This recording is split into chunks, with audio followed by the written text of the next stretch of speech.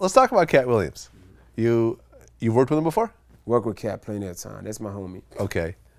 I fucks with Katt. You know, um, he did. We did a movie Repost together. Right. You know, we have res high respect for each other. He respects me, my grind, and he know, and he knows Mike is out there doing his thing, and I know, of course, he's on a whole different, you know, that level with him. And, you know, it's like comedy. There's like this level and this level and it's that level.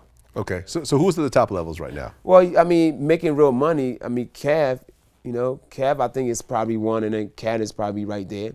You know, and um, Kevin here, I was talking about he's he's done with stand up. Oh really? I mean, that's what I'm hearing. But you know, how many times Michael Jordan retired? He's probably gonna focus on some other stuff now. I mean, he's about to have the biggest stand up movie ever. About to hit theaters this summer. Oh, so he has a stand up movie coming. Yes. And after that, he's done.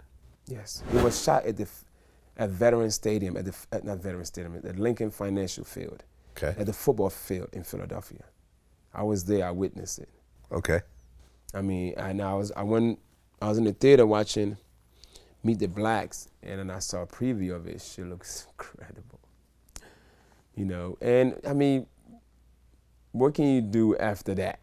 Hmm. After performing in, at, at a football stadium, okay, you know. But I mean, and the thing about it, he shouldn't. I mean, he's young, and comedy is something that we do till we 80, 90 years old. Right. But he's probably just going to probably just take a break and do some other things. You know, probably do more movies or maybe television or maybe I know he has a um a big online company that he just opened up. All right, it's like, it's like a streaming comedy yeah. thing. Right. Uh, I don't know if that's going to work. I'll be honest. He has a huge following, so you know if you got 30 million people following you, all you need is 10% of them to watch it, and you'd be good. Yeah, but but but that's not really how the numbers work. Like you know what I'm saying? Yeah, I mean, because just because you have 30, you know, if you have three million followers it doesn't mean that 10% is actually going to reach in their pocket and, and pay for it. Right. You know what I'm saying? Maybe 1%, maybe 0.5%. Like you can't, it's not a 10% or right. a 50%. It is about a 1%. Yeah, because it, it, doesn't cost a lot of money to follow somebody. No, no. it's pretty cheap. That's what I'm saying. So what are so he's going to be charging for the streaming?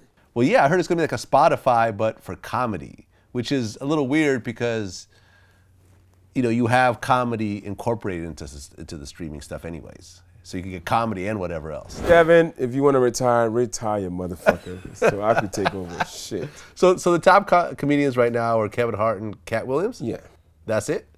I'm saying as far as doing something now. I mean, we know when Chris Rock is ready, yeah. Chris Rock will jump take over. Chris Rock is my man. He's my favorite comedian. Yeah. Yes. I think Dave Chappelle is my favorite comedian. For real. I go I mean I'm saying I'm not if you go all the time, I go Richard Pryor and Eddie Murphy. But I'm saying right now, right now, comedians, Chris Rock is my guy. Chris Rock is more like I guess, you know, I guess uh, I'm not going to say the grown-ups. You know, it just when Chris Rock put a special out, you know, he does it every five years or so, and when he does, it's always a special. It's crazy. Yeah, people still say "toss my salad" and like all, all you know quotes from from his particular, you know, stand-ups. Nah, I, I feel you. I, I feel you. Um, why, why do you think that Katt Williams has this crazy shit that's been happening? I don't I don't know details of that. I don't even know much details of the punching the kid in the face. I don't, but look, his tour is called the conspiracy tour. Okay, he just creating conspiracy. He just and the thing about it, America like crazy things. The more crazier you are, the more people are curious about you. They want to come out and see you. You know, till you guys could say, you know what, Katt, you're crazy. We're not fucking with you and nobody go buy a ticket, that's probably when he'll stop acting crazy. Okay. All right, but as far as that, hey, Katt, just do, hey, do whatever it takes. Do do you. Okay. Uh, speaking of crazy, what happened between you and uh, Deelishis and her? Oh my God. Her husband, ex-husband. Ex. Uh, you know what? Well, I mean, he's in. Is I. They were divorced. I'm not. I'm not sure. But me and Deelishis, what happened? We shot a movie. My my first movie that I produced you know, starred in it, co-directed it. It's called Coney Montana. It's a spoof of Scarface. It's straight to DVD movie that I, I actually sell this movie on the road. Like you, it's hard to get it. I think I got it on Vimeo.com, and then if you come to my show, you can buy a copy. Okay. I, know, I made a, it's like another little hood classic movie. So what happened? Um, we shot the movie in Delaware, and I know when she came out to do the movie, because the movie was about, um, you know, Scarface was about selling cocaine and stuff like that. You know, with this movie, I wanted to sell something that that is relevant right now, which was booty shots. Okay. So it's, you know, so this movie is like I instead of cocaine, we're selling booty shots. And you know, Scarface in this in, in his movie, his lady was on the coke. You know, she was using the stuff. So I said I needed a girl with an ass, so it looked like she's using ass shots because that's the product her man is selling. So that's why Deelishis became the the girl with the ass. She Right. became my co-star in the movie. And when she came to shoot the movie, you know, I showed her the hospitality, like Africans. Like she could have went to a hotel, but I had I have a really huge house in Delaware, like five bedrooms, five bathrooms. You know, and a lot of like the directors, you know, a lot of a lot of co-stars, they all stayed in my house when we shot the movie. You know, I mean, and I even offered Deelishis like a room here. You could stay if you don't want to stay at the hotel. You could stay here. And she felt like I showed her hospitality. So I came to Detroit to do a show, and then also, I pretty much got almost. It was probably the second edit of the movie, and I went to show to her. So when I flew to Detroit, promoters booked me in a hotel, everything. She's like, Mike, no, don't stay in a hotel. When I came to do movie, you stayed at my, I stayed at your house. You know, come and stay at my house. For some reason, I had the worst gut feeling about this. Okay. Sometimes you gotta always go with your gut, gut feeling. She said, "Come and stay at my house." I'm like, "Oh God," you know, um, because I went to show the movie. I said, "Okay," I, I, I, you know, she said, "Don't worry, you know, I'm, I'm single. I live here alone, just me and my kids. And you family." She's like, "You're a family to me," you know. Like I, you know, I, and I think earlier that day I went there. Her mom, her pop was there. The kids were there. It was like we cool. Like nothing ever happened between us. You know, we were like real cool, just strictly cool. So we hanging out, like we did, I did the show. We hanging out in the city that whole day after the show, like hanging out. And I think word got around, like she's hanging out with Mike, like, you know. And uh, one thing that, oh, I know in the middle of the night sometimes ex comes to the house and he's pissed off and she runs off, you know. And one thing left. nothing really happened, you know what I mean? Like he just pissed and he just came in and, and just came and went and just left. He just, you know, it just was more like a panic type of thing, you know. I mean, that was really it. Nothing really, you know, everything else was just know, over exaggerated. Because it it made it sound like he tried to kill you or or something. So that he just showed up at the house. He showed up at the house. Well, so did, did she call the police? Well, she yeah she eventually called the police and he was already gone by then. You know, she he, he came and like just you know like I, that was like middle of night. I was asleep when this crap happened. It was just it was just a nightmare. Did you actually see him?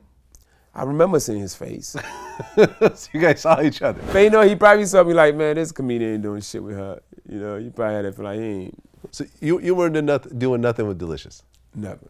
Nothing. No. Attractive woman. at the same time, she's she just she's the type I think that she wouldn't just go with anybody. I think she was like she you know woman reaches a certain age she wants a relationship. You know what I'm saying? And that's probably she probably in a, she's probably looking for a relationship at that time.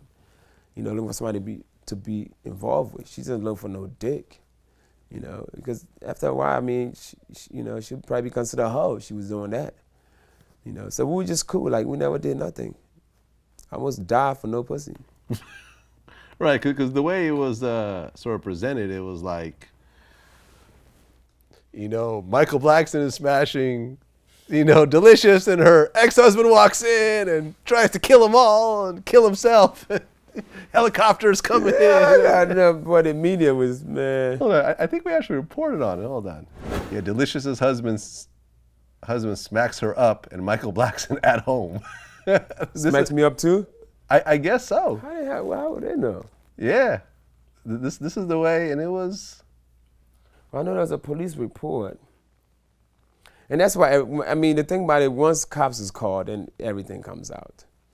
Once the police report is made, I mean, if cops was never called, none of this would have came out. Okay. None of it would have Right. came out. During uh, Blackson and Gordon's altercation, Deelishis found refuge in another bedroom where she locked the door. As Gordon was trying to break in, she jumped out of the window and ran to a neighbor's house. After jumping out of the second story window, Deelishis suffered a wrist injury. Did any of this stuff happen? Oh, that happened. Is that what it says? Yeah. That's what it says. Where'd that come from? Vlad TV. but we got it from another source. Yeah. Did any of that stuff happen? Jump out of the second story window or I was asleep.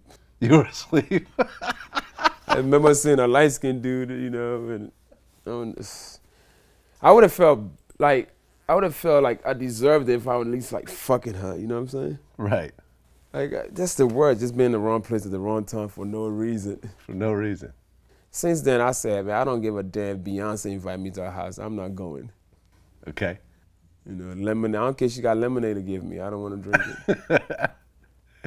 So you showed up on Chief Keef's uh, Bang Part 2 Mm-hmm. How'd you end up hooking up with Chief Keef? You know what? It's crazy. We just became friends on social media. And then we exchanged numbers. And he asked me to host this thing. And I hosted, I just pretty much did it on my iPhone and sent it to him. You know, we never even hung out. We just became cool through Twitter. And then we exchanged numbers and we just keep in, we kept in touch and just, you know, talking. You know, rappers uh, love comedy. Athletes love comedy. I'm friends with a lot of athletes, a lot of rappers. They like to laugh. Look, I work with them on Mad. Mm-hmm. Good guys. Mm-hmm. Good heart. Good guys. Give you the shirt off their back. Is it is it ironic? Is it, is it a coincidence that they both, most of their friends are white and got white wives? They like white women. I, I mean, and they develop envy because they go home.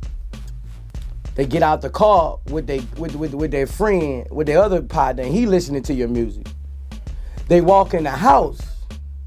They girl listening to your music. They go downstairs. The kids doing a dance to your music. Now they are hypnotized with hatred.